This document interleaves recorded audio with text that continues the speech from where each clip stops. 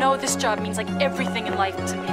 When I read those articles, I have to ask myself, does this person have a nose for the news? Do they seek out the most interesting angle on a story? I bet if a guy turned in the same exact article, it would be at the Sun Tribune right now. Terry? I mean, today was a disaster and I was a major geek, but they all thought I was a guy. Want some company?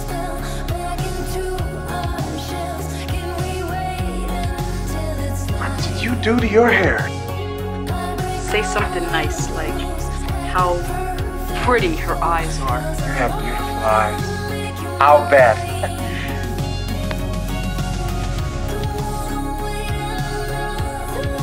A girl would be crazy to turn you down. There is nothing wrong with you except for the way you dress. Very sharp. Thanks. Not my type at all.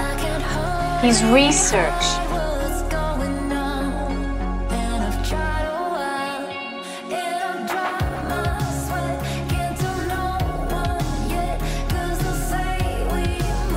Who is this guy? Terry's boyfriend. Who are you? Just a friend. You were perfect. But I And just, this whole thing was bullshit. you gotta understand how much you mean to me. You gotta believe me. Right, Terrence.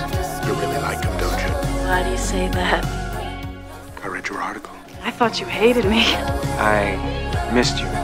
Do you, uh, still feel the same way about me? Yeah, I guess I do.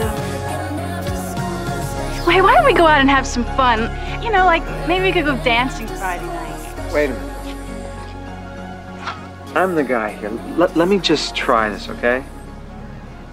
Why don't we go out dancing Friday night? What an original idea.